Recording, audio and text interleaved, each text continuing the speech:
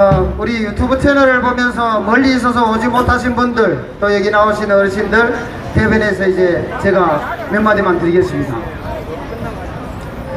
어, 최근에 저 전라북도 군산에 제네럴 모터스 우리 그 예전에 대우차 어, 군산 공장이 폐쇄가 됐죠. 그런데 전라북도 분들이 군산 분들이 그게 왜 폐쇄가 된지를 몰라요. 아니 그게 만약에 박근혜 정부에서 폐쇄가 됐으면 아마 박근혜 정부를 내려라고 난리를 쳤을 거예요. 그런데 그분들은 문재인 정부에 대해서 한마디도 얘기하는 사람이 없습니다. 왜 그런지 한번 곰곰이 생각을 해봤습니다. 그게 아, 물론 세뇌가 됐을 수도 있겠고 기존의 김대중 정부 때부터 늘 아마 그들을 깨우치려고 우리가 노력하지 않았던 게 아닌가 이렇게 또 생각을 해봤어요. 저들이 늘 우리의 2030 아이들을 자경화가 여기 어르신들도 아마 그렇게 말씀을 하실 겁니다. 우리의 2030 아이들이 자경화가 됐다. 모두 자경화가 됐다. 그러면 저들을 자경화를 시킨 자들이 누굴까요? 과연 좌파 진영이 전 진영이 저 아이들을 자경화가 시킨 게 아니에요. 단 몇 명의 교사가 단 한두 명 한두 명의 김재동이나 김호수이나 주지르 같은 자들 이들이 수천 수백 명의 수만의 우리 아이들을 자경화를 시켰습니다. 여러분들의 아들 딸들도 분명히 여러분들한테 엄마 아빠 정신 있어요? 왜 그런데 나가? 그러면서 아마 김재동이나 주진우나 김호준이한테는 10만원씩 던지면서 강연을 들으러 다니는 아이들이 분명 있을 거예요. 그죠? 이거 제가 여기에 어, 참가를 하신 어르신들한테 뭐 다른 기분 나쁜 감정을 가지시라고 드리는 말씀이 아닙니다. 우리의 아이들이 분명히 자기가 많이 된 것만은 사실입니다. 그런데 반면에 좀 전에 올라왔던 우리 박계열 청년처럼 대한민국이 내려둬서는 안 된다. 이제는 앉아서 손으로 입으로 할 때가 아니다. 이제는 나가서 2030에 외쳐야 될 때다. 이렇게 생각하는 청년들이 한 명, 두 명씩 나오기 시작을 한다는 겁니다. 아, 제가 주제 조금 헷갈렸어요. 원래 군산, 다른 분들이 또 얘기를 하시기 때문에 제가 저 전라도 분들한테 한 말씀 좀 하려고 올라온 겁니다. 사실은.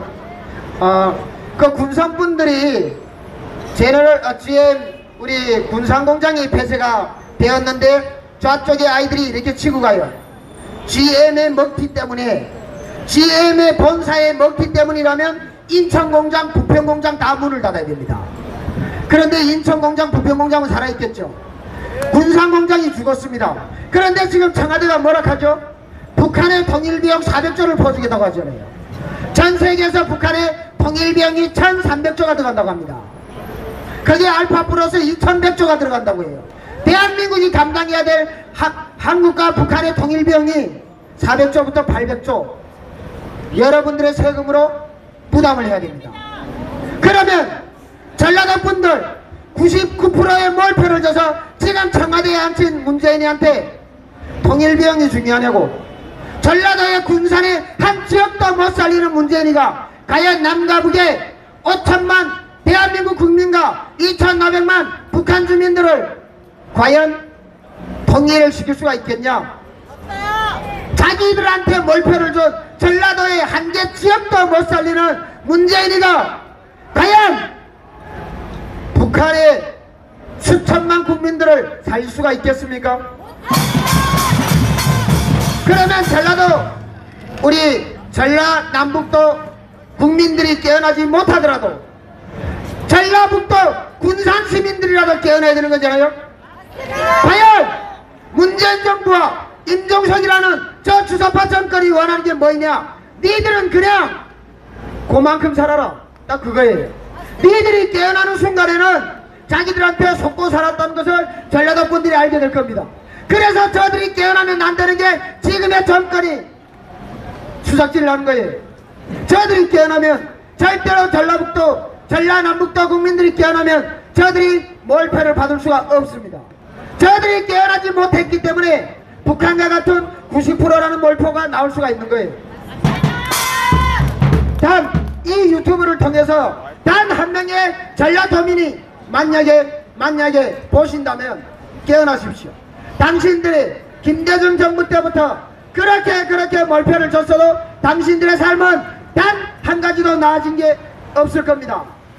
이제라도 전라도 국민들이 내가 좋아하고 김대중의 당이어서 노무현의 당이어서 노무현의 비서실장이어서가 아닌 진정으로 대한민국을 위해서 진정으로 전라남북도의 경제를 위해서 대한민국의 안보를 위해서 당신들을 지켜줄 수 있는 그런 후보를 택해 주시기를 간곡히 부탁드립니다. 그 어르신 어, 여기 대부분 어르신들이 다 나오셨죠.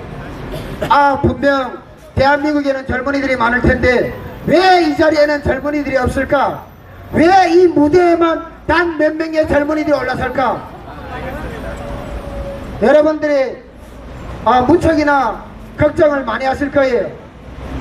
그런데 어, 이미 전에 또 우리 박결 씨가 얘기를 했기 때문에 제가 답을 대는 얘기는 못 드리겠습니다만 지금도 구석구석에서 여러분들이 저같이 이렇게 무대에 서지 않았지만 지금도 자기 맡은 장소에서 지금도 구석구석에서 대한민국을 걱정하고 내가 무엇을 해야 될지 걱정하는 수많은 대한민국의 2030의 젊은 아들, 딸들이 존재하고 있습니다. 여러분들이 그들에게 힘이 되어주시고 그들의 버팀목이 되어주셔서 그들이 만약에 여러분들과 같이 이 대한민국을 살리는 앞장에 섰을 때 그들이 쓰러지거나 잡혀가거나 구속되거나 했을 때 과연 우리 진영에는 그들을 돌봐줄 그럴 만한 조직이 있냐? 없다는 거죠. 3월 10일 날 정말 돌아가지 않으셔도 될 분이 전라도 경찰청 버스에 매달려 있는 스피커에 맞아서 현장에서 돌아가셨습니다. 그분의 이름 석자를 모르는 정치인들이 지금 청와대에서 사람이 먼저라고 외치고 있어요. 우리라도 여러분들이라도 이 대한민국을 위해서 목숨 바쳤거나 구속되었거나 쓰러지신 이런 분들을 우리라도 지켜주고 잊지 말아요. 저들의 백남기처럼 저들의 이성기처럼 제1, 제2의 젊은 청년들이 영웅이 돼서 나타날 거예요. 다른 분들 또 좋은 말씀을 해주시기 때문에 저는 몇 마디만 마감을 하고 내려가겠습니다. 여러분들이 지금 앉아서 너무나도 힘드시죠? 문재인 정부가 탄생해서 근 1년 만에 너무나도 비속도로 대한민국의 경제가 붕괴가 되었고 대한민국의 많은 보수 우파 진영이 철참 속에 갇혔습니다. 우리는 늘 주말마다 지금 크게 네 군데에서 이런 집회를 하고 있어요. 네 군데에서. 그러나 우리는 단 한 번이라도 하얀병을 못 들어봤고 단한 번이라도 짬따를 못 들어봤고 우리는 단 한 번이라도 쇠파이프를 못 들어봤습니다. 물론 저보고 들라고 해도 저도 좀 주춤할 수는 있겠죠. 그러나 제 뒤에 또 다른 젊은이들이 뒤에 여러분들이 분명히 우리의 젊은이들을 잊지 않아주는 그런 분들이 존재한다면 그건 누군가는 반드시 들 겁니다 앞장에서 이제라도 이제라도 저들이 민노총 저들의 전교조 이 탓만 하지 마시고 우리도 민노총과 마주설 수 있는 젊은 진영을 만들어야 되고 우리도 전교조와 마주설 수 있는 새로운 대한민국의 교사들 조직을 만들어야 되지 않을, 않을까요? 언제까지 여러분들 언제까지 저 좌파들이 나라를 무너뜨린다고 말만 하실 겁니까? 우리도 뭔가를 해야 되겠죠. 저는 여기서 그만 맞추고 내려갈게요. 저도 답답하고 속탑니다. 저 여기서